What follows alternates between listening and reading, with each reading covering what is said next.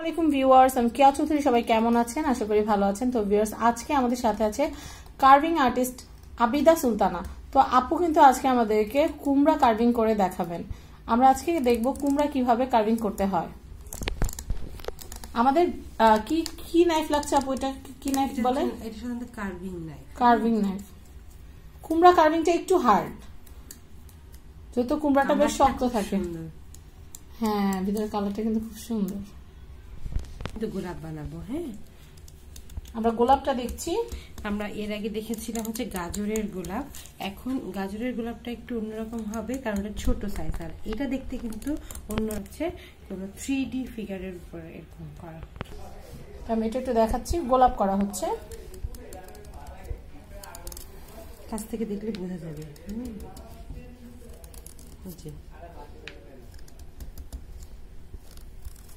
এটা ঠিক কাঠের উপর যেরকম খোদাই করে যেরকম নকশা করা হয় ঠিক এটা কুমড়ার উপরে খোদাই করে নকশা করা হচ্ছে।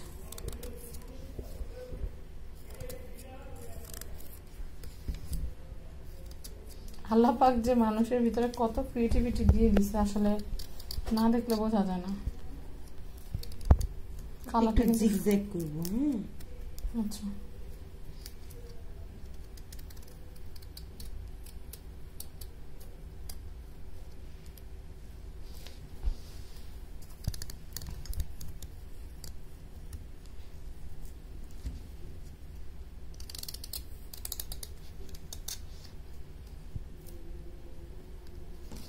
একটু হালকা করে যদি উঠেও যায় এটাকে আবার রিপিট করতে হবে।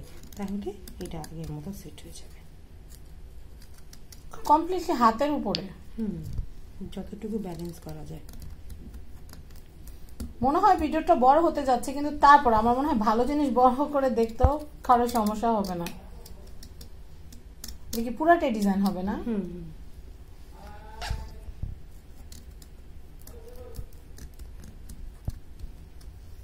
এখন আমরা এই জিনিসটাকে একটু এরকম করে তুলে ফেলব। আগেও তোলা যেত কিন্তু পরে তুললাম কারণ কীভাবে শেপটা আসবে না আসবে এটার উপর ডিপেন্ড করবে।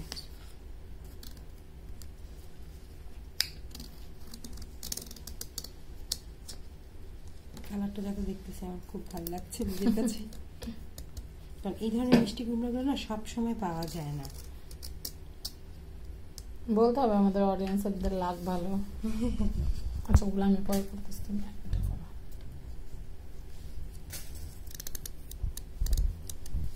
আচ্ছা একটা কুমড়া কার্ভিং করতে মিনিমাম কতক্ষণ সময় লাগে?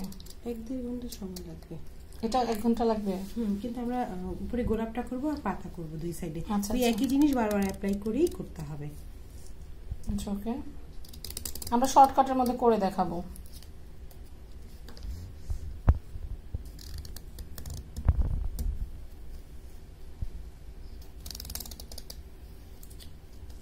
আসলে এই কার্ভিং দেখাটা আমার খুব মানে এত ভালো লাগে। সরাসরি দেখতে পেরে আরও বেশি ভালো লাগছে।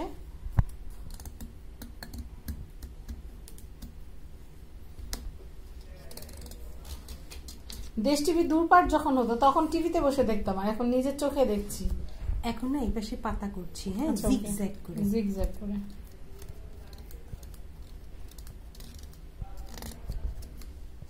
পাতা দিয়ে আমরা সবুজ ওই কালো যে অংশটুকু আছে সেটা রেখে দেব।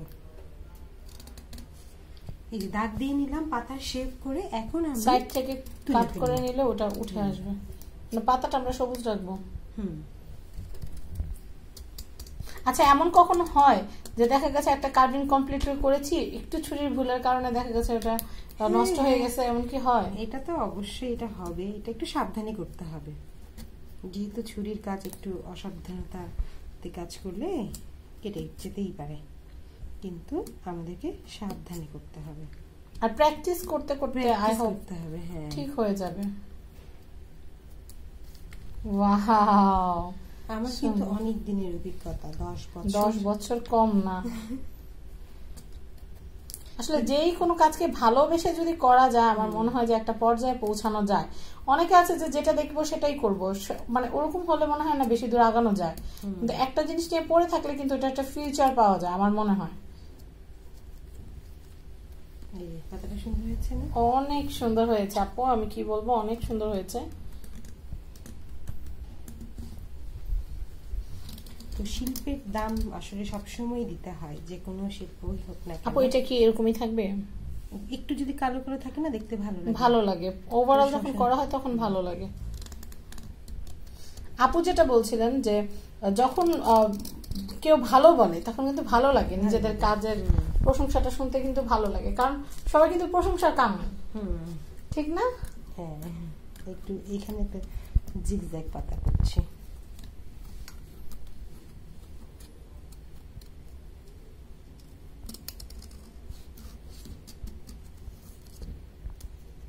ওয়াও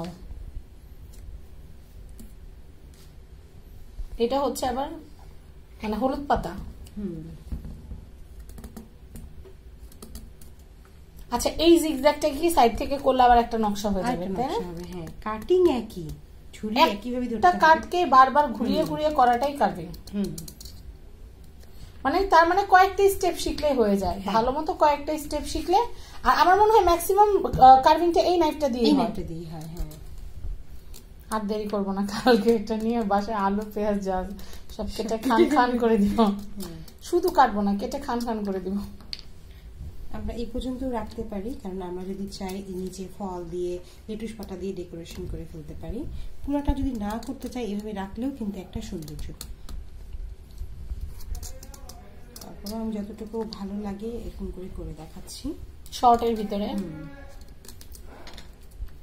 কারণ সময়ের একটা ব্যাপার আছে।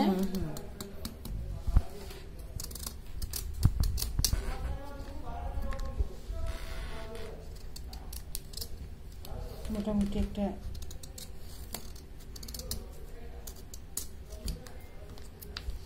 চমৎকার। মিষ্টি কুমড়ো কেটে খেয়েও নিতে পারবে কারণ খুব টেস্ট হবে এটা বুঝে যাচ্ছে। এই যে। এটা রূপ দেখে আমরা মুগ্ধ। আমি আরেকটা পাতা করার জন্য আপুকে বললাম। হ্যাঁ আপু করে দেখাবে সুন্দর লাগবে। তাহলে আসলে কি একটা ফুলের মধ্যে দুইটা পাতা থাকে এটা ছোটবেলা থেকে দেখে আসছি। তাই ওইটাই মনে হয় নর্মাল আপুর কিন্তু খুব কম সময় লাগে করতে কিন্তু আমাদের জন্য দেখানোর স্বার্থে বা বুঝার সুবিধার্থে কিন্তু আপু সময় নিয়ে করছে কাজটায়। কারণ ওই যে অভিজ্ঞতা? ছুরির চাইতে কিন্তু অভিজ্ঞতার ধার বেশি আমার মনে হয়।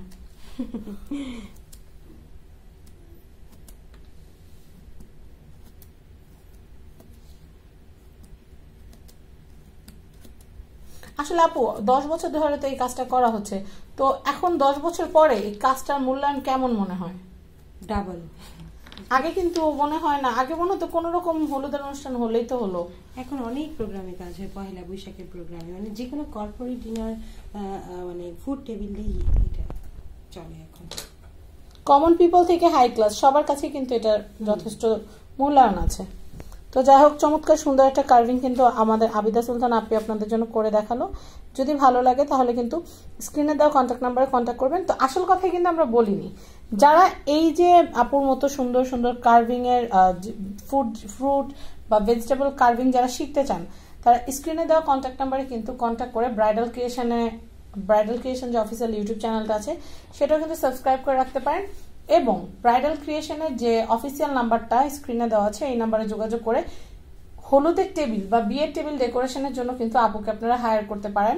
সেই ক্ষেত্রে প্যাকেজ আছে তিনটা। তিন হাজার টাকার একটা, পাঁচ হাজার টাকার একটা, নয় হাজার টাকার একটা, আট হাজার টাকার একটা। ওকে, নয় হাজার টাকারটাই স্পেশাল হয়। তো তিন হাজার টাকাটার ভিতরে যে প্যাকেজ, সেটা সম্পর্কে আপুর কাছ থেকে আপনারা জানতে পারবেন। পাঁচ হাজার টাকারটাও, নয় হাজার টাকারটাও, আট হাজার টাকারটাও। সবগুলো প্যাকেজ সম্পর্কে ধারণা পেতে কিন্তু আপুর এই কন্ট্যাক্ট নাম্বারে যোগাযোগ করবেন। আর কেউ যদি কার্ভিং শিখতে চান, তাহলে বলব আপুর কাছ থেকে শিখলে কিন্তু হাতে কলমে শিখতে পারবেন। তো ভিউয়ার্স ভালো থাকবেন। আজকের মতো বিদায় নিচ্ছি। আল্লাহ হাফেজ।